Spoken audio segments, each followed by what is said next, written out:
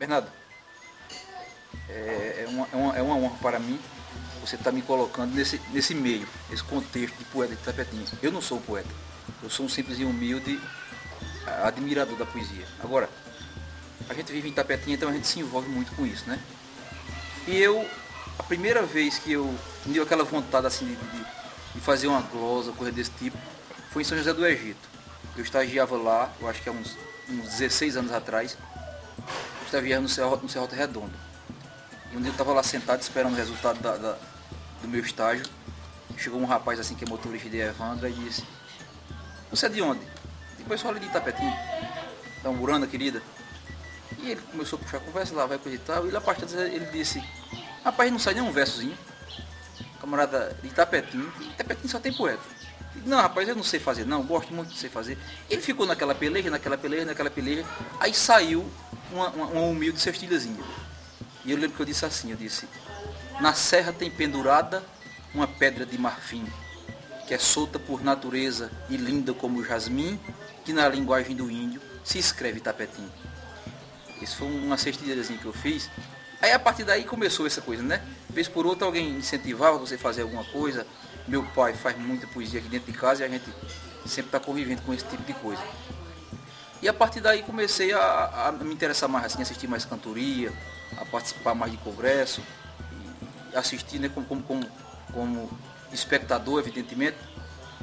E veio surgindo. Eu lembro que uma vez, Chico Cabeleireiro, que é uma figura muito conhecida aqui em Tapetim, poeta grande, e tem uma filha, Monique, que é poetisa também, é, no gênero dela e na idade dela, eu nunca vi ainda quem se comparasse a Monique. E uma vez eu fiz uma. Eu quis fazer uma homenagem a Monique, dentro da minha humildade, dentro da minha pequenez. Eu pensei em fazer uma, uma homenagem a Monique. E eu fiz um versinho para ela, titulado assim, versinho de apresentação. Ela era menorzinha, né? Eu fiz esse verso no intuito de quando ela fosse se apresentar, ela falar esse versinho. E o versinho era assim. Sou do Pajéu das Flores, me conhecem por Monique, sou a criança mais chique no berço dos cantadores. Nos versos sinto os sabores que a poesia eu domino. Quis o poeta divino que fosse mesmo assim, nasci em Tapetim, declamar meu destino. Agora eu vou te fazer uma revelação que vai mexer com o Tapetim todinho. Todo mundo falava que aquele rapaz que era veterinário, como é o nome dele, Bernardo? Afonso. Afonso que Afonso Veterinário era amarrado e não sei o que, se era ou se não era, não sei. O que eu sei é que eu tive uma fase aqui em Tapetim, desempregado, aí eu, eu sugeri a, a, a Afonso que me desse uma oportunidade. Eu passar uns dias lá, pegando um macete daquela coisa de veterinária, porque tem, quem sabe se não surgisse uma oportunidade, eu embocava. Eu estava desempregado e eu tinha que tentar tudo. Pois por incrível que pareça, Bernardo, quando chegava no fim do dia, eu passei um dia lá com ele. Quando chegava no fim do dia, ele botava a mão no bolso, aí me dava dois, três reais, cinco, e toma, vai comprar de pão, seu menino que você está desempregado. Afonso fazia um negócio desse. Né? E quem dizia que Afonso nem comia. Pois comigo ele fazia isso. Então eu, eu queria, um, eu queria um bem, quero um bem Afonso maior do mundo. Ele pode ter todo defeito, agora para mim não, não, não, tem, não tem nenhum.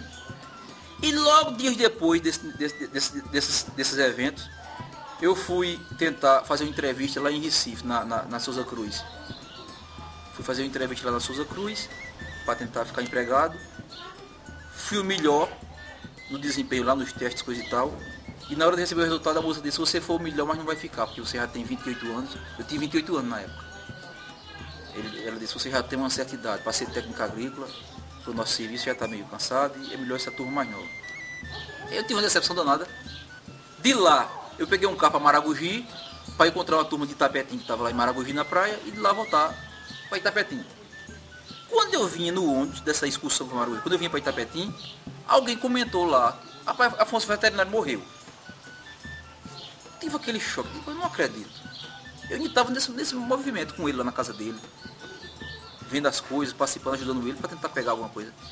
Foi um choque danado para mim, rapaz. Afonso morreu, morreu. É tempo de carnaval, né? No mês de fevereiro. Eu vinha da, vinha da praia do carnaval. Aí naquela hora me bateu assim uma coisa e, e saiu. Fevereiro foi o mês, eu marquei no calendário que Afonso Veterinário fez partida de uma vez. Deixou mais de um freguês com seu nome na lembrança. Deixou Val com uma criança chorando sua partida. Afonso sem despedida foi para o céu hoje descansa. e soltei esse versinho lá e rolou lá entre as pessoas. E foi uma, humilde homenagem que eu fiz Força Veterinária, que pra mim não teve defeito. Eu quando eu quero bem um camarada, ele pode ser o satanás, eu quero bem ele todo jeito. Agora, a vida coloca a gente em certas situações, Bernardo, e a gente fica nesse jogo, né? Na verdade, o nosso destino, ele é guiado por Deus. Deus é quem guia nossos destinos. Jesus Cristo se deu, se doou por nós. Nós somos pecadores miseráveis. Quem é que não tem pecado? E outro dia eu pensando em Jesus Cristo, o porquê dele ter sido condenado. Na verdade, era propósito divino. Mas na ótica humana, eu ficava naquela indagação, naquela dúvida, por quê? Por que naquele momento ali de, de, de agonia de Jesus Cristo, por que não, não, formou-se uma junta de pessoas para defendê-lo? E aí eu pensei, se o meigo Rabi da Galileia foi autor de um drama surreal, ao invés de uma vaia criminal, por que não aplauso da plateia? Ao invés de formar-se uma, uma alcateia, por que não um conselho humanista que tirasse o cordeiro dessa lista, pois o mesmo é, é limpo de pecado? O cordeiro de Deus foi condenado em um mundo cruel e oportunista. Bernardo, Itapetim é singular, Itapetim é diferente. O camarada que nasce aqui, ele nasce diferente. Não sei se para melhor ou para pior. Agora nasce diferente. É. Eu lembro porque uma vez é, as coisas surgem assim, a coisa emana. Né? Eu estou dizendo por mim não, eu, eu, não sou poeta, eu sou um admirador, mas a matutada de Itapetim. E tem um, um, fato que aconteceu aqui, eu não sei com quem, isso, isso é uma coisa antiga que contam. E isso eu, eu, eu conto em todo lugar, para mostrar como é a coisa surge. A rapidez, a velocidade. Porque poesia não é só o verso rimado, não é só o verso erudito desses poetas famosos aí. A, a poesia também está, às vezes, numa simples resposta. Né? Num cacuete, num, numa maneira de ser, desse tipo de coisa.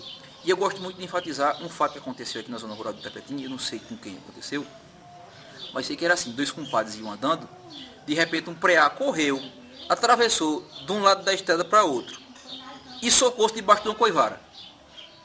Um dos camaradas tentou pegar o preá, tentou, não, não conseguiu. Aí disse, eita compadre, quem nasceu para não ter nada, peleja, morre e não tem. A outra pegou no deixo e disse, e suceda o que suceder. Depois de Deus não querer, nem eu, nem tu, nem ninguém. Então, isso é poesia. Né? Os, os, os, os, versos de Pereira tornam-se grandiosos por isso, pela simplicidade. Então, a simples, às vezes, a beleza está mais no simples do que na coisa mais difícil.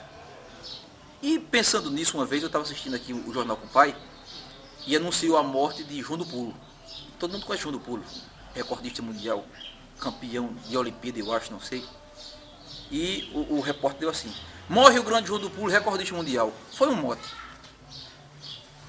disse isso e passou a matéria. Quando ele terminou e fechou a matéria, eu pensei, de perna negra e comprida, pulando em favor do vento, ganhava todo momento a batalha contra a vida. Mas depois de uma batida, afetou-lhe um grande mal. E agora a morte fatal deixou seu corpo nulo, morre o grande João do Pulo, recordista mundial.